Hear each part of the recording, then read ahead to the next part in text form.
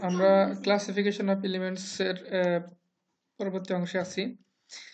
আমরা এখন দেখব হচ্ছে classification of elements on the periodic টেবিলের পিরিয়ডিক টেবিলের কিছু ক্লাসিফিকেশন মানে এলিমেন্টস গুলোকে বিভিন্ন বৈশিষ্ট্য অনুসারে ভাগ করার একটা অংশ দেখি।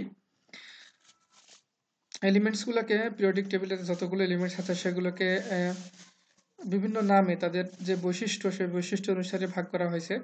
যেমন হচ্ছে metalloids alkali metals alkaline earth metals transition metals non metal halogens noble gas earth elements তো মেটালয়েড তো যেগুলো ভাগ করা হয়েছে সেগুলো সম্পর্কে শুধু আমরা জানব যেটা কোন পিরিয়ডে আছে এবং কোন জায়গায় তাদের অবস্থান।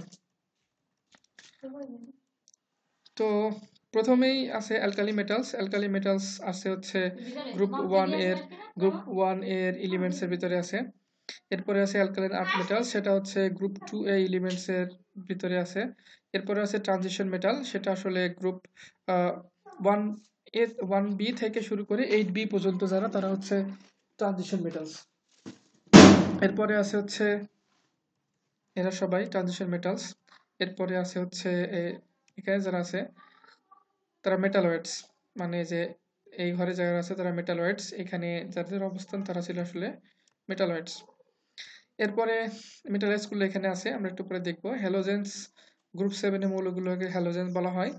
তারপরে গ্রুপ এইট এ অথবা অথবা জিরো গ্রুপের এলিমেন্টস গুলোকে বলা হয় নোবেল গ্যাস আরও আছে ল্যান্থারাইট সিরিজ অ্যাক্টেরাইট সিরিজ যেগুলো আসলে গ্রুপ সিক্স এবং সেভেন এই পিরিয়ডের ভিতরে অবস্থান করতেছে এবং থ্রি বি যারা আছে তার তার অংশ হচ্ছে এরা।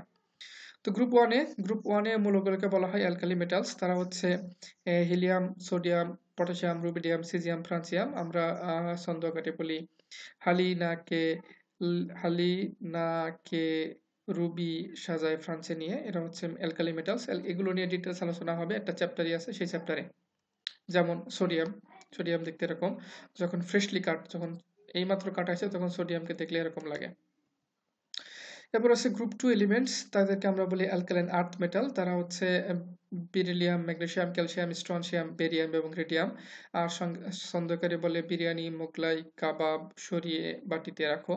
এটা হচ্ছে গ্রুপ টু এলিমেন্টস যেমন এখানে একটা ছবি দেখতে পাচ্ছি ক্যালসিয়াম এগুলো হচ্ছে আকরিক ক্যালসিয়ামের যখন আকরিক থেকে ক্যালসিয়ামকে আলাদা করা হয়, তখন হচ্ছে ক্যালসিয়াম দেখতে এরকম হয়। তারপর হচ্ছে ট্রানজিশন মেটাল আমরা বললাম যে গ্রুপ ওয়ান বি থেকে শুরু করে এইট বি পর্যন্ত যারা, তারা সবাই হচ্ছে ট্রানজিশন মেটালস ট্রানজিশন মেটালস এর ভিতরে আছে ফেরাস, লোহা কপার এটা হচ্ছে তামা প্লাটিনাম অত্যন্ত দামি একটা ধাতু মার্কারি তরল ধাতু। তারপরে ল্যান্থেনাইট এবং অ্যাক্টিনাইট সিরিজ ল্যান্থেনাইট এবং অ্যাক্টিনাইট এটা আসলে যে এটা গ্রুপ সিক্স এর three B period six three B যে গ্রুপ সেখানে যে এক জায়গায় ল্যান্থানাই ল্যান্থানাম থেকে শুরু করে ল্যান্থানামের পর থেকে সেরিয়াম থেকে ল্যান্থানাম থেকে লুটিয়াম পর্যন্ত, অর্থাৎ ল্যান্থানাইট ল্যান্থানামকে ধরলে পনেরোটা, ওকে বাদ দিলে চোদ্দটা সেরিয়াম থেকে লুটিনিয়াম পর্যন্ত। এই চোদ্দটা মূল এখানে আছে, এদেরকে বলা হয় ল্যান্থানাইট সিরিজ আর গ্রুপ থ্রি বির সেভেন সাত নম্বর পিরিয়ডে অ্যাক্টিনাইটের পর থেকে থোরিয়াম থেকে লরেনসিয়াম পর্যন্ত এদের যেই চোদ্দটা মূল আছে তাদেরকে বলা হয় অ্যাক্টিনাইট সিরিজ যেমন একটা সেরিয়াম সেরিয়াম দেখতে এরকম অ্যাক্টিনিয়াম দেখতে এরকম, এরা এই অ্যাক্টিনিয়াম হচ্ছে রেডিও অ্যাক্টিভ এলিমেন্টস তারপর আছে মেটালয়েডস, এদের মেটালয়েডস কেন বলা হয়? কারণ এদের কিছুটা মেটাল এবং কিছুটা নন মেটালের বৈশিষ্ট্য আছে। এরা বিভিন্ন গ্রুপে ডিস্ট্রিবিউটেড যেমন ধরি থ্রি এর ভিতরে বিসমাত আছে ফোর এর ভিতরে সিলিকন জার্মানিয়াম আছে ফাইভ এর ভিতরে আর্সেনিক অ্যান্টিমনি আছে। গ্রুপ সেভেন সিক্স এর ভিতরে আছে টেলেরিয়াম এবং পোলোনিয়াম এদের দেখতে হচ্ছে টেলেরিয়াম দেখতে এরকম বোরন দেখতে এরকম থ্রি এর ভিতরে আছে। তারপরে আছে হ্যালোজেন হ্যালোজেন নিয়ে আমাদের ডিটেলস আলোচনা হবে। এটা একটা চ্যাপ্টারের একটা অংশ। Fluorine chlorine bromine iodine astatine astatine হচ্ছে রেডিও অ্যাক্টিভ এলিমেন্টস এই তিনটাই, চারটা মূলত মূলত হ্যালোজেন আর কি। ব্রোমিন আসলে তরল, দেখতে এরকম। তারপরে আছে গ্রুপ এইট এ অথবা নোবেল গ্যাসের গ্রুপ বা জিরো গ্রুপ তার তার ভিতরে আছে helium neon argon krypton xenon tenon এরা হচ্ছে নিষ্ক্রিয় গ্যাস।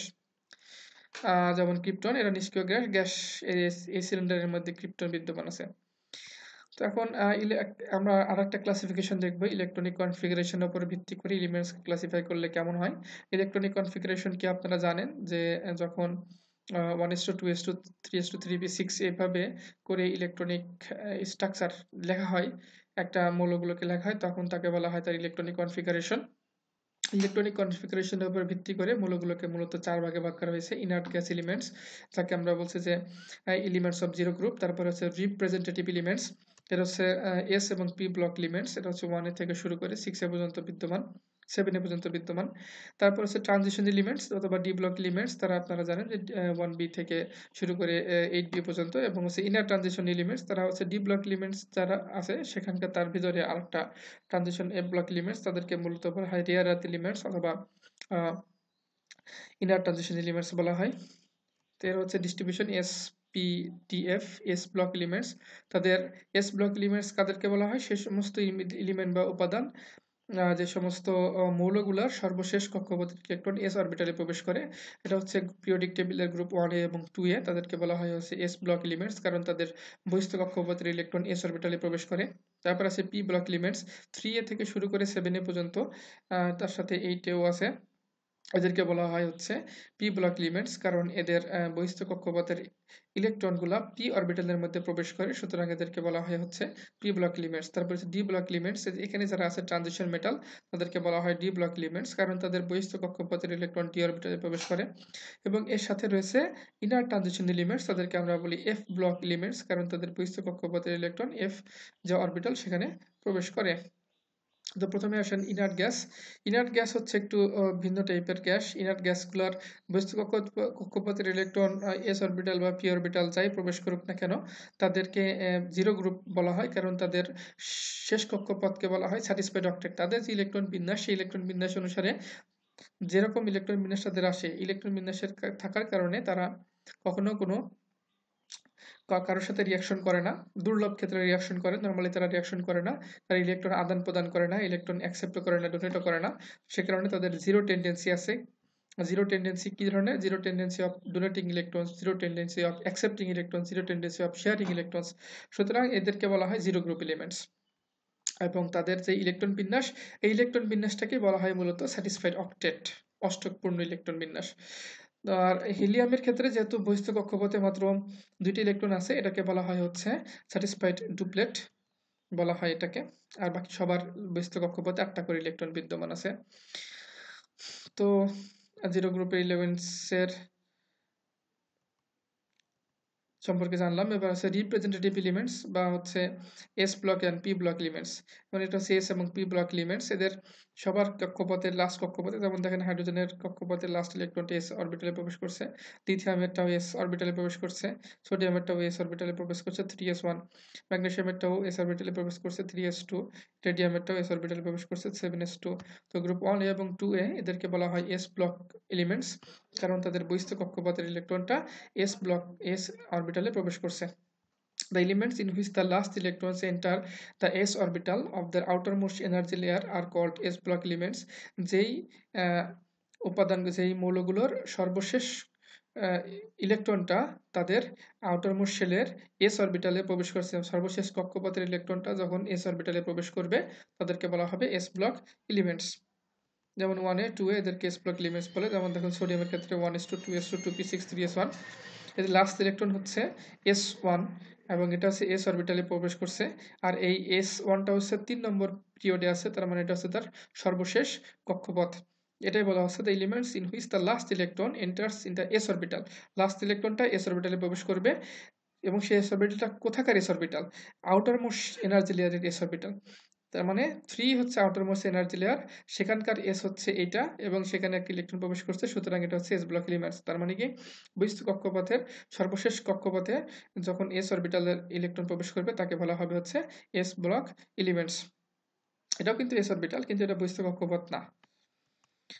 তারপরে হচ্ছে পি ব্লক এলিমেন্টস এগুলো হচ্ছে পি ব্লক এলিমেন্টস তাদের বহিস্থ কক্ষপথের সর্বশেষ যে এই ইলেকট্রনটা সেটা বহিস্থ কক্ষপথের পি ব্লকে প্রবেশ করে the elements in which the last electron enters in the p orbital of the outermost energy layer সর্বশেষ কক্ষপথের পি অরবিটালে যখন সর্বশেষ ইলেকট্রনটা প্রবেশ করবে, তখন তাকে বলা হবে পি ব্লক এলিমেন্টস যেমন থ্রি এ থেকে শুরু করে সেভেন এ পর্যন্ত তারা সবাই হচ্ছে পি ব্লক এলিমেন্টস তো সেখানে আমরা ইলেকট্রন বিন্যাস যদি দেখি, তাহলে দেখতে পাবো দেখেন অ্যালুমিনিয়ামের ইলেকট্রন বিন্যাস one s two two s two two p six three s two three p one এখানে হচ্ছে এই তিনটা হচ্ছে তিন নম্বর সেল তিন নম্বর সেলের সর্বশেষ, তিন নম্বর সেলটা হচ্ছে বহিস্থ কক্ষপথ এবং আউটার মোর সেল আর সবচেয়ে বাইরের কক্ষপথ আছে তিন নম্বর সেল এবং সেখানকার একটা অরবিটাল পি অরবিটাল সেই পি অরবিটালে একটা ইলেকট্রন প্রবেশ করছে, সুতরাং এটা হচ্ছে পি ব্লক এলিমেন্টস একইভাবে ক্লোরিনের সর্বশেষ কক্ষপথ হচ্ছে তিন নম্বর কক্ষপথ এবং সেখানকার পি অরবিটাল পি অরবিটালে ইলেকট্রন প্রবেশ করছে, সুতরাং এটা হচ্ছে পি ব্লক এলিমেন্টস তারপরে ডি ব্লক এলিমেন্টস এগুলোকে বলা হয় d block elements d block elements এর একটা বৈশিষ্ট্য হচ্ছে, এদের সর্বশেষ যে ইলেকট্রনটা সেটা হচ্ছে ডি অরবিটালে প্রবেশ করছে। তবে, একদম আগেরটার মতো সংজ্ঞা দেওয়া যাবে না। এদের সঙ্গে একটুখানি মডিফাইড হবে। তো সেটা হচ্ছে, the elements in which the last electron enters into the d orbital, which is the inner to the outermost shell অর্থাৎ এই এর আগেরগুলার পি এবং এস অরবিটালটা ছিল হচ্ছে সর্বশেষ কক্ষপথের এস এবং পি অরবিটাল আর এখানকার ডি অরবিটালটা হচ্ছে সর্বশেষ কক্ষপথের আগের কক্ষপথের ডি অরবিটালে তারা ইলেকট্রন প্রবেশ করে, যে কারণে তাদেরকে বলা হচ্ছে ট্রানজিশন মেটাল যেমন দেখেন, সর্বশেষ এই স্ক্যান্ডিনিয়ামের ইলেকট্রন বিন্যাসে দেখেন, সর্বশেষ কক্ষপথ হচ্ছে ফোর এবং তার আগের কক্ষপথ হচ্ছে তিন। তিন নম্বর কক্ষপথ হচ্ছে inner to the outer most shell এই এই ডি অরবিটালটা থ্রি ডি যে অরবিটালটা সেটা স্ক্যান্ডিনিয়ামের থ্রি ডি অরবিটালটা কি? D orbital which is inner to the outer most shell সর্বশেষ কক্ষপথের আগে অবস্থিত। এই কক্ষপথের ডি অরবিটালে প্রবেশ করছে কি?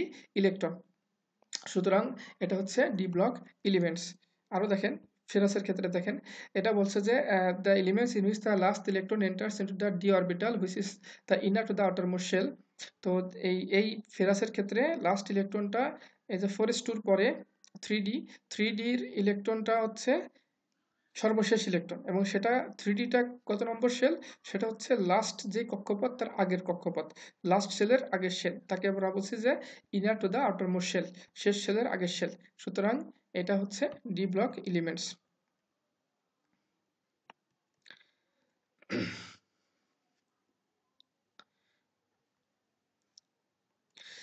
Elements which have normally the same number of electrons in the outermost level but have a progressive greater number of electrons in the inner level such as d level is called transition elements দেখেন এদের সর্বশেষ কক্ষপথের ইলেকট্রনটা সমান স্ক্যান্ডিনেভিয়ার electron সংখ্যা কয়টা last কক্ষপথে দুইটা ফোরেস two ফেরাসের কত ফোরেস টু কিন্তু দেখেন স্ক্যান্ডিনিয়াম থেকে ফেরাসের দিকে কিন্তু ইলেকট্রন সংখ্যা ডি অরবিটালে বৃদ্ধি পাচ্ছে যেমন স্ক্যান্ডিনিয়ামে ডি অরবিটাল ইলেকট্রন সংখ্যা একটা, ফেরাসের ক্ষেত্রে এই ডি অরবিটাল ইলেকট্রন সংখ্যা হচ্ছে ছয়টা। সেটাই বলা হচ্ছে যে এই same number of electron in the outer most shell outer মোশেলের একই রকমের ইলেকট্রন কিন্তু তার আগের যে কক্ষপথ inner to the last most shell মানে আগের শেষ সেলের, আগের সেলের ইলেকট্রন সংখ্যাটা, অর্থাৎ ডি এই অরবিটাল সেই অরবিটাল ইলেকট্রন সংখ্যাটা আস্তে আস্তে বৃদ্ধি পায়। এদেরকে বলা হয় ট্রানজিশন এলিমেন্ট তারা হচ্ছে three d four d five d and six d অরবিটালের ভিতরে তাদের ইলেকট্রনগুলো সচরাচর প্রবেশ করে থাকে। আচ্ছা তারপরে হচ্ছে, তারপর তার মধ্যে আবার আছে হচ্ছে ইনার ইনার গ্যাস, তারপর লাটভিয়াম এবং লুটিশিয়াম এরা, এদের ভিতরে আছে ইনার ট্রানজিশন এলিমেন্টস। তো আমরা এখন দেখি ইনার ট্রানজিশন এলিমেন্টস কোথায় আছে। এরা হচ্ছে ইনার ট্রানজিশন এলিমেন্টস সিরিয়াম থেকে শুরু করে নিয়ে লুটিয়াম পর্যন্ত। এটা হচ্ছে ল্যান্থানাইট সিরিজ এবং থোরিয়াম থেকে শুরু করে লরেন্সিয়াম পর্যন্ত এটা হচ্ছে আপনার অ্যাক্টিনাইট সিরিজ তো এদের ইলেকট্রন সংখ্যা কোথায় প্রবেশ করে? এদের ইলেকট্রন সংখ্যা হচ্ছে এমনভাবে প্রবেশ করে যে যাদের হচ্ছে এফ ব্লক এলিমেন্টসে প্রবেশ করবে। এফ ব্লক এলিমেন্টস প্রবেশ করে এমনভাবে যে এফ ব্লকটা হচ্ছে লাস্টের সেল থেকে তিন নম্বর লাস্টের থেকে গুনলে থ্রি ইনকমপ্লিট আউটার লেভেল আছে, অর্থাৎ লাস্টের সেল তার আগের সেল তার আগের সেল লাস্ট থেকে ভিতরের দিকে তিন নম্বর সেলে তাদের এফ ব্লক যেটা এফ অরবিটাল যেটা, সেখানে তাদের ইলেকট্রন প্রবেশ করে, যেন এন মাইনাস টু লিখছে, যে তার আগে আর দুইটা সেল বিদ্যমান থাকবে। একটু দেখলে বুঝতে পারবেন। দেখেন লাস্টের সেল কোনটা? ছয় নম্বর সেল ছয় নম্বর সেলটায় এস টু অরবিটাল আছে, এই s two six s two হচ্ছে সেডিয়ামের ক্ষেত্রে সর্বশেষ ইলেকট্রন সর্বশেষ কক্ষপথ সিক্স তার আগেরটা হচ্ছে ফাইভ এটা হচ্ছে যদি সিক্সকে যদি ধরেন এন অখণ্ড পূর্ণ সংখ্যা হচ্ছে এন আর তাহলে ফাইভ কি হবে? এন মাইনাস ওয়ান তার আগেরটা কি? এন মাইনাস টু তো তার মানে কি যে এই এই যে এই যে orbital n minus two f অরবিটালে প্রবেশ করছে কোথায়?